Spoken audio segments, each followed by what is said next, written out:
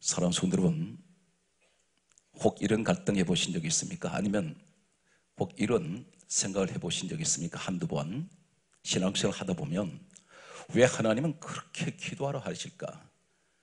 우리의 모든 것을 다 알고 계시는데 구태여 그렇게 기도를 해야만이 응답을 주신다는 것인가?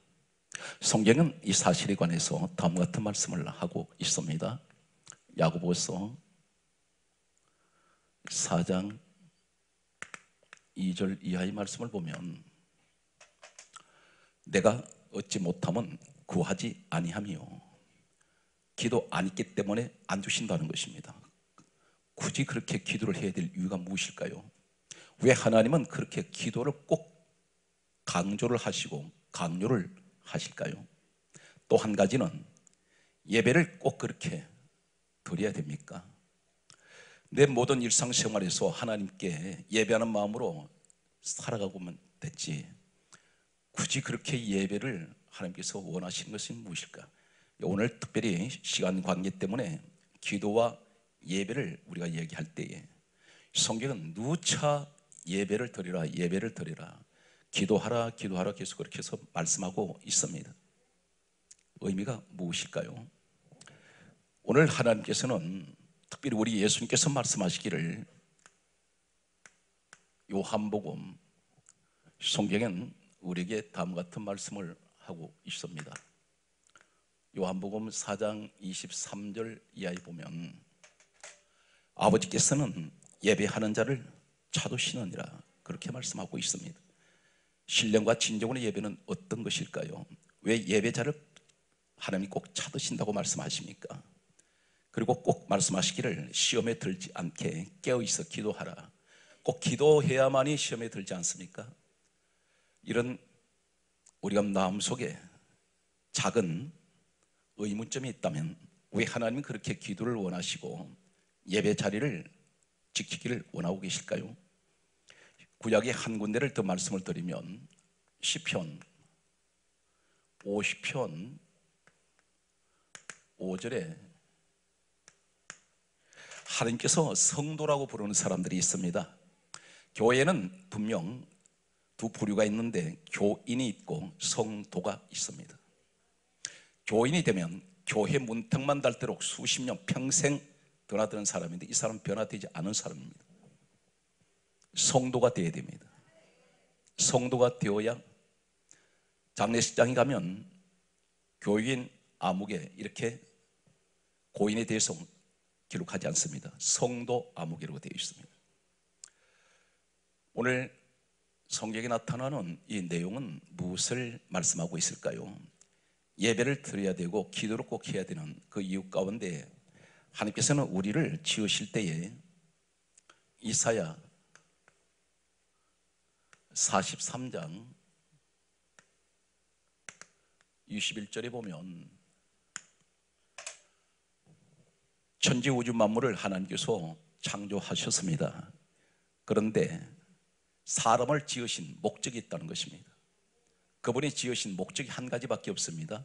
이 백성은 내가 나를 위하여 지었나니 누구를 위하여? 하나님을 위하여 나의 찬송을 부르게 하려 함이라.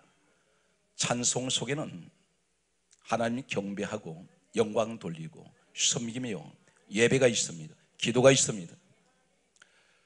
이 땅에 오신 예수님은 누구신가요? 우리가 막연하게 예수 그리스도 그분은 하나님의 아들이다 이렇게만 이야기합니다. 그런데 성경은 좀 더 정확하게 말씀하고 있는 내용은 빌립보서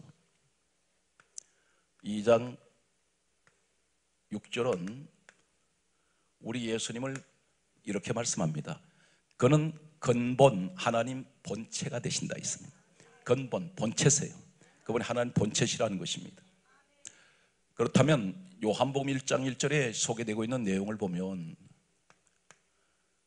말씀은 하나님이라고 하셨습니다. 그런데 말씀은 하나님이라면 그 말씀이신 하나님께서 이 땅에 오실 때 어떻게 오십니까? 요한복음 1장 14절에 우리 예수님을 가리켜 말씀이 육신이 되어 우리 가운데 오신 분이라 했습니다. 그분이 말씀이신 하나님이셨습니다. 그 말씀이신 하나님이 육신의 옷을 입고 이 땅에 천한 곳에 오셔서 그분 스스로가 십자가에 달리셨습니다. 그리고 우리를 구원하셨습니다. 그래서 늘 우리는 잊지 말아야 될 것은 우리 주 예수 그리스도로 말미암아 요한 1서 1장 7절은 영혼 불변의 한 가지 진리를 소개하고 있습니다. 예수의 피가 우리를 모든 죄에서 깨끗하게 하셨습니다. 내 스스로 의인된 것이 아니라 순전히 예수님이 십자가에 죽으심으로 내가 그분 안에서 그래서 성경 강좌기를 에베소서 1장 4절에 말씀하시기를 성경이 이렇게 선언하고 있습니다. 창세 전에 하나님께서는 누구든지 그리스도 예수 안에 있는 사람만 택하시기로 예정이 되어 있습니다. 영원 불변의 진리입니다. 그래서 성령을 받고 난 후에 베드로를 통해서 전해지는 한 말씀이 있습니다. 이 말씀은 사도행전 4장 12절의 말씀을 보면 천하 사람 중에 다른 이로서는 구원을 얻을 수 없나니 예수 그리스도 외에는 구원받을 만한 이름을 주신 일이 없습니다.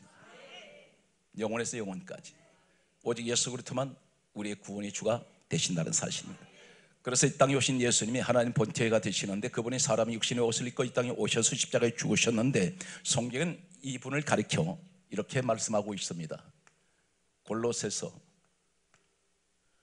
1장 16절에 말씀하기를 그를 위하여 만물이 창조되었고 누구를 위하여 분명히 성경이 이렇게 강조합니다. 이사야 43장 21절에 이 백성은 내가 나를 위하여 지었나니 나를 찬송하게 하려 함이라.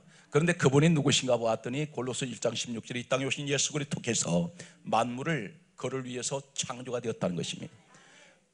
다시 말씀드려서 우리는 오직 하나님 한 분만 섬기며 그분을 자랑하고 그분께 영광 돌리는 이 삶을 살기 위해서 하나님께서 우리를 지으셨다는 거예요. 그런데 다른 목적을 두면은 하나님 진노를 살 수밖에 없습니다. 오늘 여기 성경에서 하나님께서는 꼭 예배 때만 어떤 큰 일을 행하세요. 참고로 몇 군데만 말씀을 드리면 창세기 35장 1절에 보게 되면 야곱에게 환란이 왔습니다. 어떤 환란이 왔냐면 야곱의 딸 디나가 겁탈당하고 이 사건에 의해서 시몬 네비 두 오빠가 세겜의 남자들을 다 죽였습니다. 청천벽력 같은 이런 놀라운 충격과 함께 이 사람들은 몰살당하게 생겼습니다. 그때에 하나님께서 난데없이 이런 상황에 있는 야곱에게 창세기 35장 5절은 또 1절부터 이렇게 보게 되면 1절에 이렇게 말씀합니다. 야곱아 일어나 베델로 올라와서 거기서 재단 쌓아라. 재단은 예배 자리입니다. 어디 베델은 하나님 집입니다. 우리 현장에 그 현장 되시기를 예수 이름으로 축복합니다. 창세기 35장 5절에는 하나님께서는 그 사면 동서남북을 다 막아버리십니다. 야곱 일행을 추격하는 자가 없었더라. 야곱을 쫓아오는 문제가 없어져 버립니다. 오늘 이 현장이 그 현장 되시기 바랍니다. 그동안 나를 괴롭히고 나를 쫓아오던 수많은 내가 끊으려도 끊을 수 없는 눈에 보이지 않는 이런 환란과 시험 어려움들이 지금 내 눈에 보이지 않지만 사방이 도사리고 있습니다. 언제 어느 순간에 내게 어떤 질병이 들어올지도 모르고 갑자기 지나가다가도 그 순간을 피하지 못해서 사고를 당하는 사람도 있고 예측을 못합니다. 그런데 하나님이 모든 것을 다 막아주신다는 것입니다. 언제 베델에 올라가서 재단 쌓을 때에 오늘 이 현장에 반드시 그러한 주인공은 있을 것입니다. 성경 말씀을 계속해서 보게 되면 시대는 옮겨와서 열왕기상 열왕기상 18장 30절에 보게 되면 엘리야라는 사람이 있습니다. 우리는 흔히 엘리야 이야기할 때에 이렇게 말합니다. 엘리야는 능력이 많은 사람이라서 그가 기도해서 하늘 열고 닫았다고 말합니다. 그런데 기도를 하기 전에 가장 먼저 회복되어야 될 것이 하나 있는데 하나님께서는 엘리야를 통해서 기도 들어가기 전에 하늘 문 열리기 전에 비 내리기 전에 불 내리기 전에 가장 먼저 한 말씀은 너희는 무너진 여호와의 재단을 수축하라 그랬습니다. 우리는 지난 한 해 동안 많이 무너졌습니다. 예배단은 많이 무너졌습니다. 누가 무너뜨렸습니까? 본인이 무너뜨렸습니다.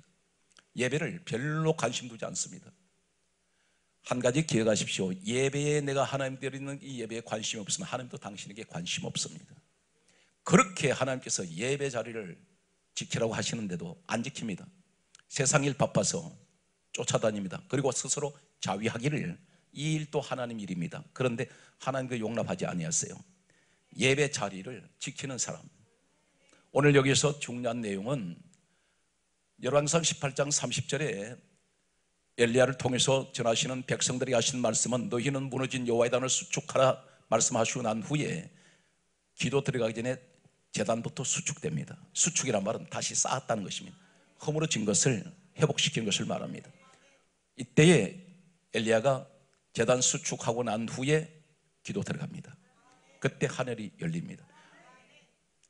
지금 예배 자리를 그렇게 말씀하시면서 하나님 직접 말씀하시는 내용은 베델에 올라가서 재단 쌓아라 말씀하시고 그리고 무너진 재단을 회복하라 하나님께서 친히 이렇게 말씀하시는데 성경 말씀을 또 보게 되면 야고보서 5장 17절에도 이 엘리야가 재단 회복하고 난 뒤에 기도할 때 어떤 기도를 했느냐면 오늘 다시 강조합니다. 이 현장에 이런 기적이 일어날 것입니다. 그동안 내 가정에 닫혀있던 이 민족에 닫혀있던 하늘이 열려버리고 그렇게 갈망하고 기다리던 축복의 단비가 내리지는 오랫동안 기다려온 사람들이 있습니다. 엘리야 시대는 3년 6개월입니다.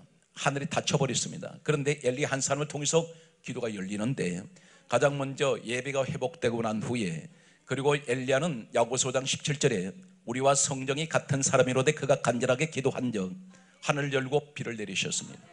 주시는 분 누가 주세요? 하나님이 주십니다. 언제 주세요? 기도할 때. 기도 언제 해야 됩니까? 예배 회복될 때. 성경 말씀을 계속해서 보게 되면 역대상 21장 26절에 보게 되면 다윗 왕이 있습니다. 다윗은 왕입니다. 하나도 부족한 것이 없어요. 그런데 이 사람이 세상 것은 왕의 자리에 있는 사람은 다 가지고 있습니다. 그런데 모든 것을 세상 축복을 다 누리고 사는 사람이었지만 이 다윗은 언제 불이 떨어지냐면 하나님 앞에 재단에서 기도할 때 재단이 회복될 때 재단에서 예배를 드려질 때 하늘에 불 떨어져 버립니다. 성경 말씀은 계속해서 보게 되면 역대하 7장 1절에 보게 되면 유명한 솔로몬이 나옵니다. 솔로몬 하나님께서 지혜를 주셔서 세상에 이런 솔로몬 지혜를 따라갈 사람이 없었습니다. 머리가 뛰어난 사람입니다. 그런데 그럼에도 불구하고 이 사람 왕의 자리에 앉아 있는데 뭘 합니까? 하나님께 기도하는 사람입니다. 여러분 가운데 세상 몇 푼어치 돈 좀 가지고 있다고 이것만 믿고 기도 안 하는 사람이 있습니다. 지금 내가 건강하니까 기도 안 합니다. 건강 기도 안 해버립니다. 그러나 언제든지 이 세상의 모든 사람에게는 모든 것이 위험으로부터 노출되어 있습니다. 전부 노출되어 있습니다. 순식간에 무슨 일이 닥쳐올지 모릅니다. 그럼 하나님께서는 뭐라고 말씀합니까? 야곱에게 말씀하셨듯이 환란 왔을 때 재단 쌓고 그리고 환란 오기 전에 깨어서 기도해라. 오늘 이 내용 속의 비밀이 무엇일까요? 왜 그렇게 예배를 드려야 되며 왜 그렇게 기도를 해야 됩니까? 여기 총체적인 하나의 공통점이 있습니다. 오늘 이것을 손에 쥐시기 바랍니다. 솔로몬에게도 기도를 마쳤을 때에 하늘에서 불이 내려옵니다. 이제 저는 이 내용을 우선 바탕으로 해서 성경에서 전혀 한글 성경으로 번역된 내용을 알지 못하는 사건을 찾아갈 것입니다. 성경에 보게 되면 구약은 히브리어로 기록되어 있고 신약은 헬라어로 기록되어 있습니다. 본래. 그런데 전부 다 각국어로 번역이 되어서 우리는 한글로 번역된 성경을 가지고 보고 있습니다. 그런데 그 한글로 된 성경 내용만 가지고는 무슨 뜻인지를 잘 모를 때가 있습니다. 오늘 여기에 대단히 중요한 한 가지 단어를 소개하고자 합니다. 바라크라는 말이 있습니다. 또 이 말은 베레카 이렇게 부릅니다. 바라크 베레카 이 의미가 무엇이냐면 무릎을 꿇다 경배하다 기원하다 이런 의미를 가지고 있습니다. 무릎 꿇다라는 이 의미 하나를 가지고 오늘 여러분에게 바라크와 베리카의 말씀을 소개하겠습니다.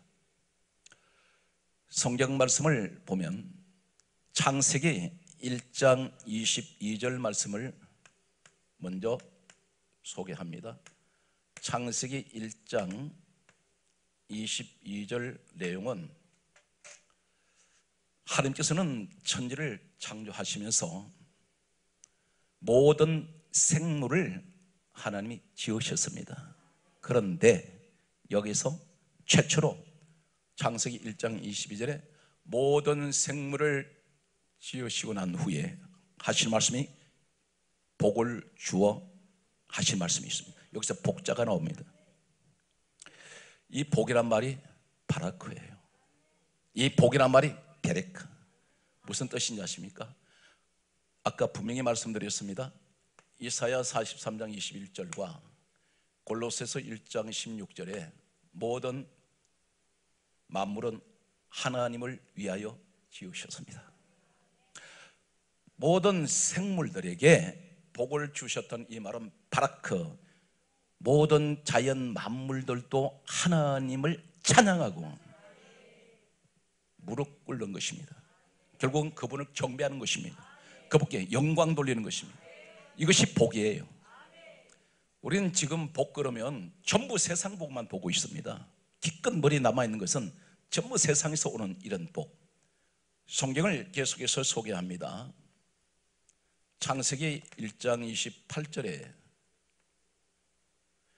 하나님께서 사람들을 천지 창조 6일째 날 지으셨습니다. 그리고 가장 먼저 하신 말씀이 복을 주어 가장 먼저 복이란 말이 나옵니다. 그 다음에 다섯 가지가 나오죠. 생육, 번성, 충만, 정복, 다스리라. 우리는 이 다섯 가지를 받기를 사모합니다. 그래서 날마다 애타는 마음으로 늘 밤낮 없이 이 소망을 가지고 때론 기도에 매달릴 때가 있습니다. 그런데 이 복이 어떻게 오십니까? 앞에 전제가 된 것이 복이 전제가 되어 있어요. 그이 복을 우린 가르켜서 세상에서 오는 자꾸 이런 조건만 세상 복으로 보고 있다는 것입니다. 아닙니다. 바로 이 복이란 말이 복을 주어 하실 말씀이 생육하고 번성하고 충만하고 정복하고 다스리는 이 말씀 복이 바라크입니다. 무슨 말인지 아십니까? 무릎을 꿇어라. 무릎을 꿇는다는 건 어떤 것이냐면 예배 자리에, 기도하는 자리에, 섬기는 자리에 하나님께 경배하는 자리입니다. 그래서 그러면 다섯 가지가 주어지는 거예요. 이 복의 개념을 우리는 잘못 알 때가 있습니다. 하나님의 복 중에 복이 뭐냐? 하나님 앞에 무릎 꿇는 것입니다. 그래야 다섯 가지가 주어지는 거예요. 전제가 되어 있습니다. 복이 있고 바라크가 있고 베레카가 있고 다섯 가지가 주어진다는 것입니다. 그런데 우린 거꾸로 되어 있습니다. 하나님 앞에 무릎 꿇기 전에 예배 드리기 전에 기도하기 전에 먼저 다섯 가지 주세요. 성경은 이 순서가 바뀌지 않습니다. 성경 말씀을 보게 되면 로마서 4장 11절에 보게 되면 믿음의 조상 하면 롤 모델이 아브라함입니다.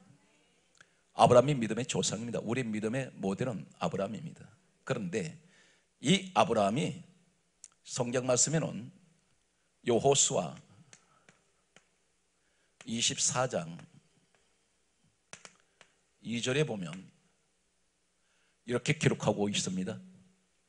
아브라함은 갈대아 우르에 있을 때 그 아버지가 다른 신들을 섬기고 있었습니다. 우상 섬겼습니다. 진들이라 했으니 복수입니다. 한두 개 신인지 아니면 여러 개 신인지 모릅니다. 그런데 여기 사는 그를 불러냈어요. 불러내시면서 약속을 하십니다. 하나님께서 아브라함이 이 복을 달라고 하신 적이 없습니다. 그런데 하나님이 먼저 하시는 말씀이 창세기 12장 1절에서 4절 말씀에 복이란 말이 상당히 많이 등장합니다. 내게 복을 주어, 복을 주어, 복을 주어. 그런데 여기서 2절에 특별히 복의 근원이란 말씀. 너는 복의 근원이 될지다. 복의 근원. 우리가 생각할 때 이 복이라 하니까 하나님께서 나 불러내셔서 가난 땅 가면은 세상에 금은 보화가 가득한 그곳에 나를 보내주시고 그리고 그곳을 가리켜 비옥한 에덴 동산 같은 곳일 것이다. 이런 조건으로는 세상 조건으로 보고 있습니다. 그런데 바로 이 복이 무슨 말씀입니까? 바로 이 복이란 말이 복의 근원 이 복이 바라크입니다. 가나안 땅 보내시는 목적이 선택해서 지명에서 불러내서 가나안 땅 들어가게 하신 목적이 뭡니까? 너 나를 섬겨. 나는 너를 통해서 내가 영광을 받기 위해서 너를 그곳에서 불러냈다는 것입니다. 어디에서 우상의 자리에서 지금 우리를 그렇게 불러내신 거예요. 그럼 우리는 하나님 앞에 나오면 전부 기복신앙입니다. 세상 것만 자꾸 복을 찾고 있어요. 천국의 변 별로 사모하지 않습니다. 여기 바라크페리카 내가 물을 끓는 것은 거부합니다. 우리는 대개가 십자가 없는 부활만 찾아요. 그럼 한 가지 기억하십시오. 십자가가 없는 부활은 없습니다. No cross no crown. 우리는 반드시 십자가를 통해야 부활이 있는 거예요. 근데 고난은 오는 것 싫어해요. 누가 고난 좋아하겠습니까? 오늘 여기에서 하나님은 우리에게 너는 내가 불러냈을 때 이 복 중에 복이 뭐냐? 내 앞에 무릎 꿇고 기도하는 게 그게 복이야. 예배하는 것이 복이다. 이 베레카는 다시 강조합니다. 바라크란 의미는 무릎 꿇다는 의미인데 이 속에는 예배하다, 기도하다, 섬기다 이런 의미를 가지고 있습니다. 그래서 무릎을 꿇으면 무엇이 오나요? 오늘 창세기 1장 28절에 생육 번성 충만 정복 다스리는 복이 옵니다. 무릎 꿇으세요. 하나님 기뻐하십니다. 그리고 아브라함 보내시면서 너 복의 근원이야. 너 바라카의 근원이 된다. 이 복이 오는 것은 항상 하나님 강조하는 내용은 무릎 꿇는 자. 오늘 이 자리가 그 현장인 것을 믿습니까? 성경 말씀은 계속해서 다음과 같이 또 소개하고 있습니다. 창세기 27장 33절에 보게 되면 하나님께서는 이삭이라는 사람을 통해서 야곱을 축복을 하게 하시는데 야곱은 장자가 될 수 없는 사람입니다. 왜 그러냐면 형이 있지 않습니까? 태어나는 순서가 형이 먼저 에스가 태어났기 때문에 그가 장자권을 가질 수가 없습니다. 그런데 실질적으로 장자가 됩니다. 장자 권세를 갖습니다. 어떻게 해서 가지게 되냐면 이삭 아버지가 야곱을 축복을 했는데 모르고 축복해 버렸습니다. 에서인 줄 알고. 그런데 에서가 나중에 이 사실을 알고 아버지께 찾아와서 내게 복을 해, 축복해 달라고 할 때에 이삭 입에서 이미 야곱을 축복해 버렸기 때문에 이렇게 말하고 있습니다. 창세기 27장 33절에 그가 반드시 복을 받을 것이다. 이 복이 바라크예요. 오늘 사랑 성도 여러분, 여러분 중에 이 세상에서 가장 복 있는 사람이 누구냐면 하나님께 바락하는 사람입니다. 무릎 꿇는 사람. 세상에 어떤 지위, 어떤 자리, 어떤 세상 복을 내가 가지지 못하고 있다 할지라도 이 세상에 가장 큰 축복을 누린 것이 누구냐면 만왕의 왕 되시고 전능하신 우리 하나님 앞에 내가 그분을 경배하고 있다는 것입니다. 그분을 위해서 내가 지금 무릎 꿇고 있습니다. 그분 때문에 지금 예배 드리고 있습니다. 이 예배는 사람이 대상이 아니에요. 우상이 아니에요. 하나님만이 우리 예배 경배 대상입니다. 성경 말씀을 계속해서 보면 성경은 이렇게 강조하고 있습니다. 신명기 7장 13절에 보게 되면 바라크가 나옵니다. 여기도 이 바라크의 축복이 뭐냐면 복을 주시는데 무슨 복을 주시냐? 은혜를 베푸신다 그래요. 그러니까 은혜의 복이 와요. 바라크하면 여러분 은혜가 어떤 것인지 아십니까? 여러분 그 은혜는 돈을 주고 살 수 없는 겁니다. 어떤 것이 은혜냐면 요한복음 1장 17절에 따라하시겠습니까? 은혜와 진리는 예수 그리스도로 말미암아 온 것이라 예수님이 주신 거라는 것입니다. 은혜는 인간이 주는 게 아니에요. 예수님이 주셨습니다. 그러면 나는 죄인이고 죄가 많고 별별 날만 새면서 기도를 합니다. 죄 짓지 않게 해달라고. 그런데 어쩔 수 없이 날라드는 먼지가 있어요. 묻습니다. 마치 연탄 공장 지나가면 나 연탄 한번 제 만져본 적도 없는데 지나고 나는데 만졌더니 새카맣게 묻었습니다. 어차피 죄 많은 세상 속에 살아가는데 그런데 그런데 말입니다. 은혜를 입으면 어떻게 됩니까? 살만한 세상이 됩니다. 죄악 가운데서도 항상 하나님 앞에 영광 돌릴 수가 있어요. 저는 여러분 항상 이 자리에 보면서 무엇을 느끼냐면 한국 교회가 희망이 있다고 생각하는 것은 여러분 같은 분들이 기도하시니까 예배를 드리시니까 하나님께서는 여러분 통해서 한국 교회가 희망이 있다고 보십니다. 늘 끊임없이 무릎 꿇는 여러분 되셔서 우리 하나님께 영광 돌리시기 바랍니다. 성경 말씀을 계속해서 보게 되면 성경이 이렇게 기록하고 있습니다. 신명기 14장 24절 말씀 보게 되면 여기도 복이라는 말씀이 나오는데 이 복이 어떤 것이냐면 바로 바락합니다. 이 바락하면 이런 복이 와요. 그래서 성경에 우선 기록된 이 바라크라는 단어가 나와 있는 것을 제가 여러분이 소개하고 있습니다. 내가 그렇게 소원했던 기도가 바라크 했더니 주어지더라는 것입니다. 신명기 14장 24절에 하나님 앞에 내가 바라크 했더니 어떤 축복 주냐면 너에게 풍부하게 해주신다 그랬어요. 무엇이 풍부한가요? 세상에 부족한 것이 없도록 해주신다는 것입니다. 그러기 위해서는 우리가 바라크해야 됩니다. 무릎 꿇어야 됩니다. 그래서 습관적으로 어느 자리에 있든지 늘 무릎 꿇는 자리가 되십시오. 이 사람을 통해서 하나님 영광을 받으십니다. 여러분들이 생각할 때 어떤 분은 이렇게 말합니다. 꼭 외국에 나가야만이 성교한다. 아닙니다. 여러분 성교지가 어딘지 아십니까? 여러분들이 일상생활에 있는 그 자리가 성교지예요. 지금 그 자리에 예수 안 믿는 사람 많지 않습니까? 왜 멀리만 내다보십니까? 그리고 뭐 대단하게 이름 날리는 것 그 아무 소용 없습니다. 내게 주어진 작은 천장이라도 그 주변에 있는 사람을 전도하기도 급해요. 오늘 우리는 항상 이 무릎 꿇는다는 이 말씀을 붙들고 신년 새해가 출발했으면 하는 마음 간절합니다. 성경 말씀을 계속해서 보면 이제 욥기서를 소개하겠습니다. 욥기 2장 9절을 한글 번역된 그 보게 되면 욥의 아내가 가지고 있던 모든 걸 다 사단이 앗아가 버렸습니다. 몸은 만신창이 질병 들었고 귀하 초과를 가지고 몸을 긁고 있고 동방의 최고하는 부자였는데 재물 다 잃어버렸습니다. 자녀들 다 죽었습니다. 친척들, 친구들마저 다 떠났습니다. 너무 비참한 모습으로 전락해서 앉아있는 너무너무 보면 흉측할 만큼 그런 모습으로 변해버린 남편 욥을 바라보는 이 아내가 이렇게 말합니다.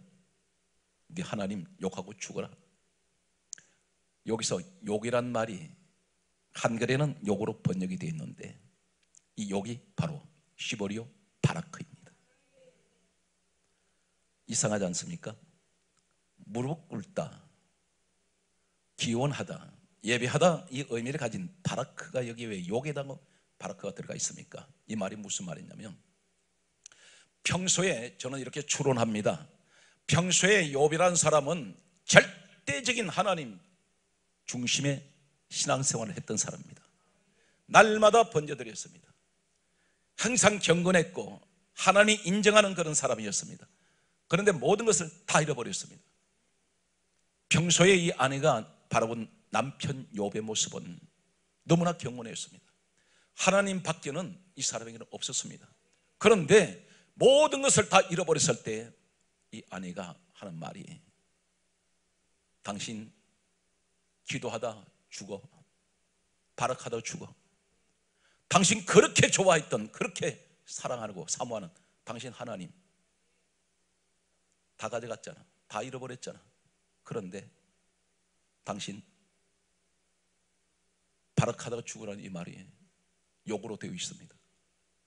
이 말이 무슨 말이냐면 그렇게 기도 많이 하고 그렇게 예배 많이 드리는 사람이니까 당신 계속해서 기도 많이 하다 죽어.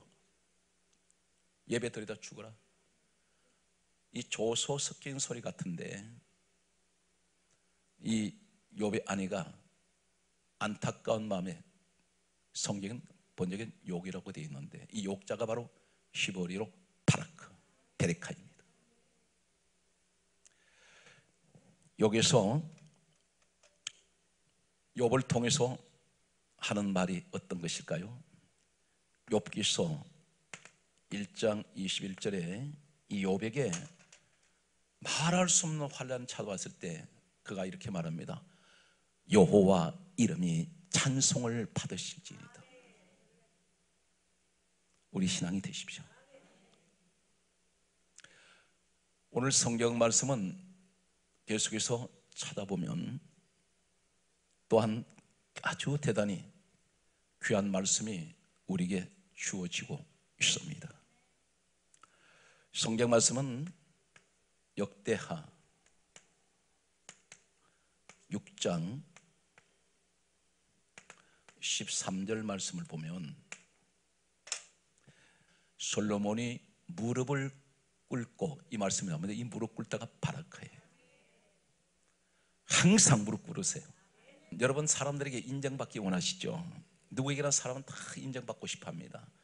서로의 자녀는 그렇게 열심히 공부하고 그렇게 밤낮 없이 아이들이 공에 매달린 이유가 뭡니까?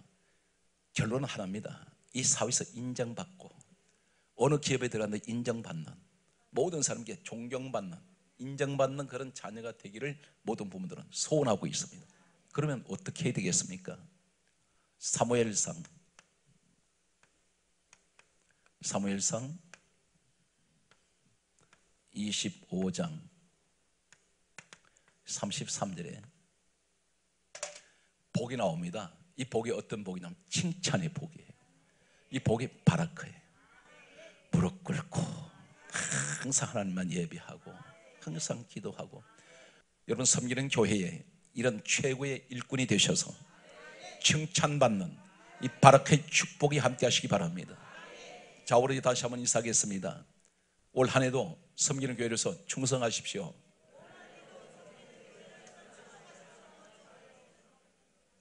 오늘 여러분 가운데 반드시 이런 분들이 분명히 이 자리에 있습니다. 성경 말씀을 보게 되면 다음 같은 말씀을 하고 있습니다. 시편 95편 6절 말씀을 보면 다음 말씀을 합니다. 거기 가서 여호와 앞에 무릎을 꿇자. 간단하게 이렇게 말씀합니다. 이 말씀은 마음에 지어도 마음에 간직해도 여호와 앞에 무릎을 꿇자. 그래서 집에 들어가든 아니면 교회에 있든 늘 기도하는 마음. 내 마음에 내 마음 속에 항상 무릎을 꿇고 있는 이런 사람은 반드시 환란이 오지 않습니다. 예배 축복이 주어지고 기도의 응답이 떨어집니다. 여러분 성리자가 되십시오. 성경 말씀은 이렇게 결론으로 가고 있습니다. 빌립보서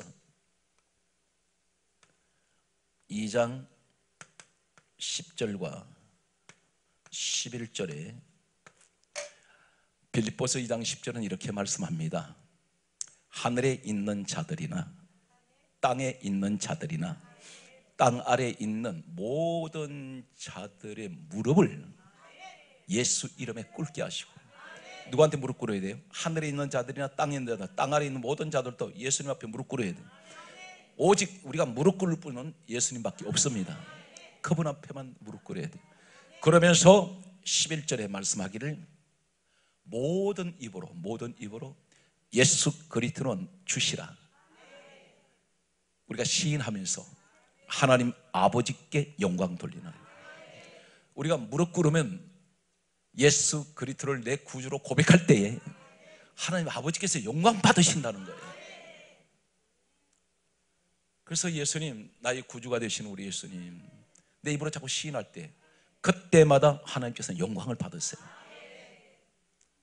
오늘 이 자리에 아무것도 염려하지 말고 오직 기도와 간구로 너희 구할 것을 감사함을 한 게 아니라 문제를 가지고 문제로 보지 말라는 겁니다. 너 문제가 던지는 순간 내가 책임진다. 그래서 말씀하기를 너희 염려를 다 죽게 맡겨버리라. 무엇을 믿고 구하는 것은 받은 줄로 믿으라 했습니다. 그러니까 염려하지 말라는 거예요. 우리 연습을 하는 것이 뭐냐면 무릎 꿇는 연습만 하면 돼. 계속 무릎 꿇었습니다.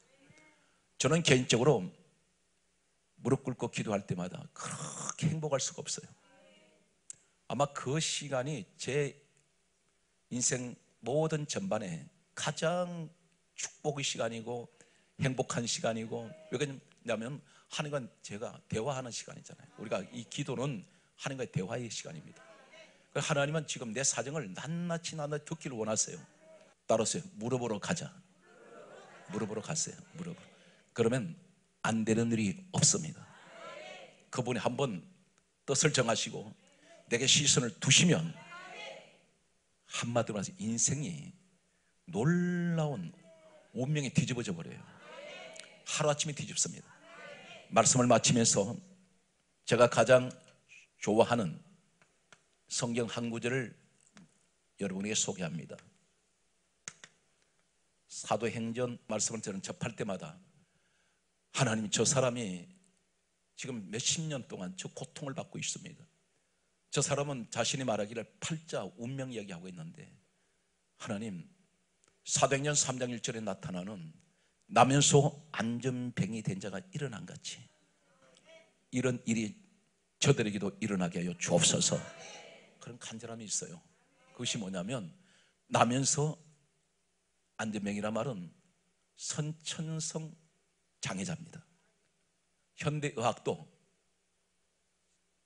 안치할 수가 없습니다 그런데 예수님 시대에 2000년 전입니다 이때 이 일이 일어나요 성령의 사람 베드로 요한이 이 성전 미문에 앉아 있는 성령 거제라고 했습니다. 이 사람은 사람들 메고 나왔어요. 단 몇 메트도 혼자서 갈 수가 없어요. 기어서라도. 그리고 전혀 못 움직이는 사람입니다. 하반신은 마비가 되어 있는 사람인데 그런데 이 사람이 평생을 그렇게 태어나기 전부터 그렇게 태어났다면 이 사람 불치병입니다. 그런데 베드로 요한이 우리를 보라 말합니다. 누구를 봐야 돼요? 성령의 사람을 봐야 돼요. 여러분 세상 사람 보지 말라고. 성령의 사람을 말합니다. 우리 보라. 이렇게 여러분 당당하실 수가 있겠어요? 베드로 요한은 당당했습니다. 우리를 보라. 그렇게 말하면서 이 사람은 지금 거지 이 사람 뭘 원해요? 돈 원하지요. 이 가지고 이 사람 못 살려. 이 사람 그 한 끼 끼니도 못 때웁니다. 그런데 내게 은과 금은 내게 없거니와 내게 있는 것은 내게 주노니 나사렛 예수 그리스도 이름으로 일어나 거라 손을 터치하죠 오른손을 잡았더니 이 사람이 갑자기 능력이 들어가는데 무슨 능력 들어가요?